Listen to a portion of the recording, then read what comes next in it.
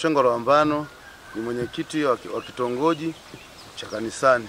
Tume, tumefurahi sana huo mradi ulipo tulipopewa taarifa kwamba unafika, tulifurahi sana na tujumuika na na wananchi kusafisha eneo hili, na wametuonyesha jinsi ya, ya kupitisha nani ili ili daraja hapa tuta, tu, ili tuungane na na- na wananchi wa ng'ambo hapa tuwe pamoja. Ilikuwa ina, ina, ina, ina, inabomoa nyumba nyumba yani, yani ukuta unaliwa una, una nyumba zinazidi una, maji yanazidi kusogea kwenye nyumba huko. Nadhani hiki limepelekea sasa mto kutukuhama njia moja kwenda njia nyingine. kwa sababu maji yana- yanatoka huko mlimani ni mengi sana, yanakuwa ni mengi sana, kwa hiyo ndio kaa yanakula ukuta. Kwa hiyo ulipokuja huu mradi walisema tuje, sisi ndio tulikuwa wa kwanza kupe, kupewa hiyo ofa kwamba sisi tunaweza kuonyesha ambapo wanatusumbua, tukaja tukaanzia eneo hili mpaka chini pale. mm. Eh, walivyotuambia um, tulivyowaonyesha, walivyotuambia kwamba inawezekana kuleta greda usiku wametupigia simu, asubuhi tunaleta kweli, tumeenda kulipokea na saizi tumeanza nayo kazi toka asubuhi mpaka sasa tunaendelea na kazi yao. Ndio, na lingine wamesema kisha chimba hapa huku pembeni tuweke uoto wa miti, tupande miti pembeni ambapo tumeweka mfereji huko katikati, tupande ng'ambo na ng'ambo, tuweke miti, uoto wa asili urudi kwenye njia yake ulipokuwa mara ya kwanza. Jina mimi naitwa mwinjilisti Elia Mwanyagire e, na hudumu kanisa hili la KKT hapa Igunzi. Na kuhusiana hili eneo ambalo ni korongo ambalo limepita kwenye eneo hili la kanisa, hili eneo limeleta madhara makubwa sana. Kwa nini nasema linaleta madhara? Kwa sababu eneo hili lina mapito mengi sana, hasa na kwa watoto wadogo. Watoto wadogo wanapita sana maeneo kama haya. Sasa unapoona hili korongo kifuku linaweka maji linajaza maji kwa wingi, na hata maji kama hata pamoja na maji hayo kwamba hayakai kwa muda mrefu, lakini kwa sababu ya watoto wana mapito sana maeneo haya limeleta shida sana. Kwa hiyo ndio maana hata eneo hili la kanisa sasa hili unaona ni kiwanja cha kanisa hiki, kwa kweli tunaona kila siku linazidi kuja huku. Kwa hiyo tulikuwa tunajua kabisa muda wowote ule ili eneo hatutakuwa nalo tena, ina maana tunapaswa tunaweza tukahama kwa wakati wowote ule. Zetu, lengo letu sisi kwa sababu tayari serikali imetushirikisha hili jambo na sisi tumeona serikali haiko mbali na sisi, tumeona kwamba sasa sisi jukumu letu ni kuweza kuwahimiza washarika ili tuone namna sasa ya kuweza kuliboresha hili eneo kwa kupanda miti. E, tupande miti, tutatafuta tutapanda miti hilo eneo na tutaweza kulilinda na kuweza kuliweka vizuri ili kiasi kwamba hii eneo ya ya mmomonyoko wa ardhi usiendelee tena. Kwa hiyo hilo tumekubaliana na sisi tuko tayari kuhakikisha kwamba hili eneo tunaliweka katika mazingira mazuri kabisa. Asante. Kwa majina anaitwa Roman Mkeni, mwenyekiti wa kijiji cha Rusese. Kweli kulingana na mradi huu uliojitokeza hapa kweli au kata ya Igurusi sana, lakini nitaka nitanguze kwanza shukrani kwanza mwandishi wa habari kufika hapa eneo hili. Kwanza sisi kama kijiji tumeshikana tumeshikamana na mheshimiwa diwani hapa unapopaona mwandishi wa habari hapa kuanzia Mkuma tunataka tuweke kivuko. Wananchi wa Nyenye waje sisi, wanapata shida sana kuzunguka, wana changamoto mpaka kwenda kule, changamoto wanatoka hapa kwa kwenda ni hatari magari barabarani, lakini kupitia huu mradi umeturahisishia kitu fulani ambacho hata sisi mpaka sisi tunapoongea kwa habari tumebeba ndugu kama saba ziko ile kwa ajili ya kuweka kwa ajili ya. Kwa hiyo kuja kwa huu umetupa urahisi fulani hata sisi wenyewe ile. Kwanza tulikaa hapa, mheshimiwa diwani, tukajadiliana uwezekano wa kuweka kivuko hapa. Sawa, haina shida. Sisi kama serikali ya kijiji Rusesi hela tutatoa bila michango ya wananchi ili tuwezeshe kufanya tuweze kuweka hichi, lakini pili, huu mradi umetuletea umetuletea unafuu wetu sisi, sababu huu mto ulikuwa na haribu mazingira, lakini mradi wamejitolea wao kama mradi. Tumshukuru na mzee Moibande kajitolea kutoa milioni mbili kwa hiyo mradi ku- ku- ku- kuchimba huu mfereji kuunyosha huu mto ili korongo la korongo la, la Mgona. Kwa naye mzee Moibanje nimshukuru sana kwa ushirikiano alioshirikiana na sisi kama kijiji cha Rusese. Mzee naom- namwombea maisha marefu, Mungu amsaidie. Lakini cha tatu, mwandishi wa habari, hapa tulipo ni kulongo linaitwa Mgoni,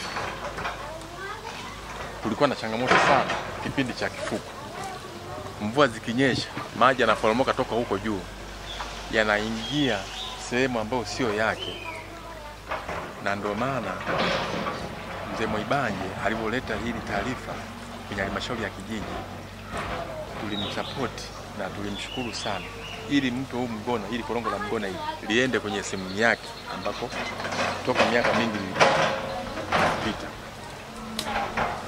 Habari, labda mimi sio na maneno mengi sana nataka ufahamu tu nini kiipelekea huu mto kahama njia yake ni, nje na nje na kutoka na nguvu huko juu.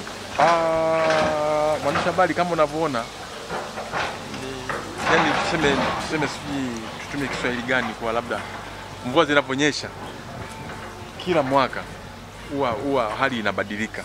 Kwa hiyo utakuta mvua zikinyesha, unahama mto, unatoka kule unako unako unapita, unakuja sehemu nyingine, ndio mpaka unaona kama hali hii korongo limejitokeza hivi hapa. Mm. Eh, kwa hiyo nadhani kama nilivyosema kwa huu mradi na ushukuru sana kwa kuja hapa huu mradi. Jina naitwa Hawa Kiwele, diwani wa kata ya Iburusi. Kipekee naomba nikushukuru kuja kwako kwa ajili ya kuangalia shughuli za maendeleo kwa kata ya Iburusi. Sisi tunaendelea na shughuli hizi, lakini tunaamini shughuli ilikuwa ni hitaji ya watu wa Lusese ili waweze kuwa na mawasiliano na watu wa Majenji, japo tunaamini ni watu mchanganyiko, wanaweza wakawa wanapita. Hasa tukajaribu kuangalia mapitio wapi wapi, maeneo haya tukaona kama ni gharama kubwa, lakini tukasema ingawa tuanze hapo rafu. Lakini kipekee tunaomba tushukuru sana mradi wa kuhifadhi mazingira ambao uko kata hii ya Iburusi umeweza kutuunga mkono kwa kiasi kikubwa sana, ikatupa nguvu ya ziada, hatimaye kuweza kupata hata mtambo ambao kwanza umelenga malengo ya kuhifadhi maji umeenda kutengeneza mfereji ambao yale maji baada ya kupotea yataenda kunyooka, lakini pia wameenda, wameenda kuelekeza zaidi. Kwa mfano huyu mzee Mwaibanje ambaye ndio mkurugenzi wa hii taasisi ana historia ya maeneo haya, anajua hii barabara ilikuwa inapita wapi, anajua hiki kivuko kilikuwa kinakatishia wapi, anajua haya maji, huu mto ulikuwa unaelekea wapi. Kwa hiyo kaonyesha mwelekeo wa haya maji. Kwa hiyo hili greda linaenda kwa mwelekeo. Bahati nzuri hata watu wa maji wameweza kuja hapa, watu wa Mwabomu wameweza kuja kujiridhisha na wamepongeza kwamba tunashukuru sana kutupa njia na kuyahifadhi maji, hatimaye yanaweza kwenda huko chini, kwa sababu maji haya yanafika mpaka mto Ruaha haya maji. Kwa hiyo yakipotea inakuwa pia ni hasara ya malengo ya Mheshimiwa Rais ya kuweza kuhifadhi zile hifadhi na kukusanya maji hatimaye kwenda kutusaidia kwenye eneo la umeme. Mimi nafikiri kilichochangia kuona nani mto huu una, unapoteza mwelekeo, kwanza ni mabadiliko ya tabia, tabia nchi, lakini pia hata sisi wanadamu, matumizi yale ya shughuli zile za kijamii, unakuta mtu mwingine anakata miti ovyo, kwa unakuta mti sasa uko wazi, hauna kitu chochote cha kuhifadhi. Kwa hiyo miti imeshakatwa, kwa mwisho wa siku sasa usione unayoiona hii imetunzwa kwa sababu kwenye makazi ya watu, lakini ukiangalia huko juu ambako ndo maji mengi yanaporomoka miti imekatwa sana. Kwa hiyo mradi huu unaenda kutusaidia pia kupanda miti.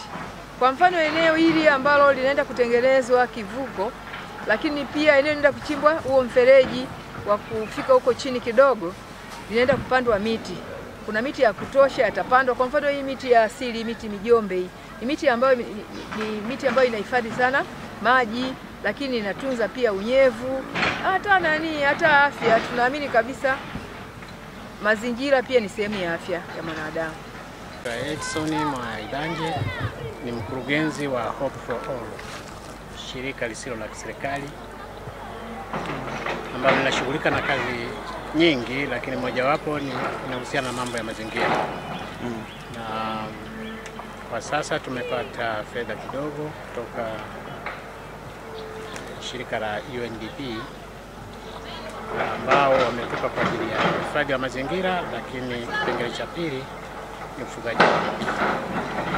Kwa hiyo sasa tuko kwenye kipengele cha hifadhi wa mazingira ambao tunapanda miti kwenye vyanzo vya maji.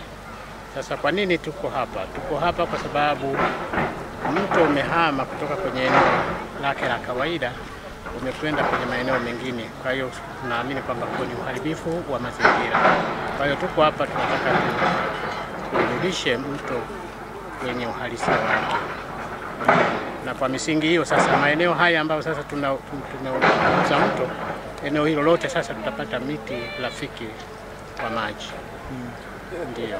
Nadhani kitu gani sasa kimechangia mpaka kufikia mto Kahama nani yake? Ah, kwa kawaida mvua ma, maji yanapofurika ya- ya- yanapofurika yanapokuwa mengi yanakuja na miti, sasa yanaweza yakaziba mahala. Yakiziba mahala, maanake maji yanahama kutoka kwenye njia yake ile, yanaanza kupita njia nyingine, kwa sababu viongozi wengi wanaochaguliwa wanakuwa hawana hawana elimu ya ki- kiutawala na, na utawala bora.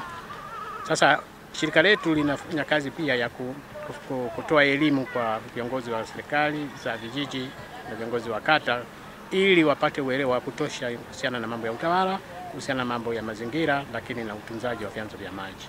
Kwa hiyo tunaendesha katika vijiji vya mradi ambavyo ni vijiji vitano ni e, Runwa, Maendeleo, Rusese, ndio hiki hapa tulipo, Majenje na, na Rwanya. Hao wote sasa wako kwenye, kwenye mpango wa, wa mafunzo.